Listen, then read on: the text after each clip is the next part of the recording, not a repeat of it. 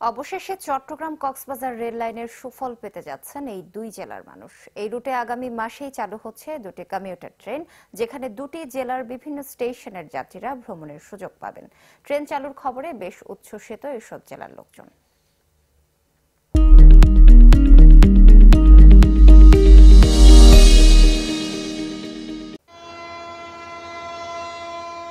দেশের রেলপথে এখন সবচেয়ে জনপ্রিয় রুট ঢাকা কক্সবাজার যেখানে এখন প্রতিদিন চলাচল করছে দুটি ট্রেন, কক্সবাজার এক্সপ্রেস ও পর্যটক এক্সপ্রেস।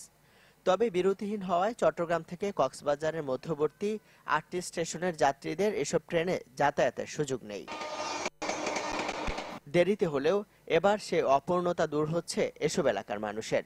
ফেব্রুয়ারি থেকে চট্টগ্রাম কক্সবাজার রুটে চালু হচ্ছে দুটি কমিউটার ট্রেন। বারো বগির প্রতি ট্রেনে যাত্রী পরিবহন করা যাবে সাতশো বিশ জন করে। চট্টগ্রাম কক্সবাজার স্থানীয় যাত্রীদের কথা বিবেচনা করে। যেমন এখান থেকে নয়টি স্টেশন হয়েছে নতুন কক্সবাজার থেকে দোহাজারি পর্যন্ত। এই সমস্ত প্রত্যেকটি স্টেশনের যাত্রী যাতে আপনার তাদের নির্দিষ্ট গন্তব্যে যেতে পারে, চট্টগ্রাম পর্যন্ত সহজেই যেতে পারে। স্থানীয় যাত্রীরা আসা যাওয়ার অনেক সুবিধা হবে, নিরাপদ এবং সাশ্রয়ী ভ্রমণে যাত্রীদের জন্য অনেক সহায়ক হবে। দীর্ঘদিন পর ট্রেনে যাতায়াতের স্বপ্ন পূরণের এমন খবরে বেশ উচ্ছ্বসিত দুই জেলার বিভিন্ন উপজেলার মানুষ।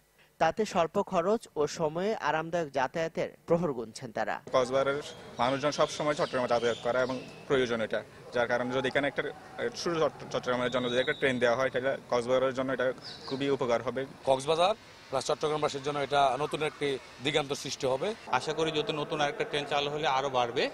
এবং ট্রান্সপোর্ট খরচটা অনেকের কমবে পর্যটন এরিয়ার সুযোগ সুবিধা বাড়বে। ট্রেন চালু করতেছে এটা করলে অ্যাভেলেবেল টিকিট পাওয়া যাবে আমরা আপ ডাউন করতে পারব।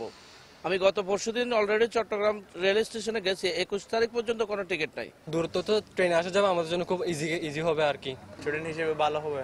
যারা কক্সবাজার থেকে বাইরে পড়তে যায় চট্টগ্রাম থেকে কক্সবাজার আমরাও চাই যে এই ট্রেনটা আসুক। আমরা যাতে সহজে যাতায়াত করতে পারি। বর্তমানে দুই জোড়া ট্রেনে প্রতিদিন ঢাকা কক্সবাজার রুটে যাতায়াত করছেন তিন হাজার একশো ত্রিশ জন যাত্রী। চালু হতে যাওয়া কমিউটার ট্রেনের সময়সূচি এবং ভাড়া চূড়ান্ত হয়নি এখনও। Desk report, channel twenty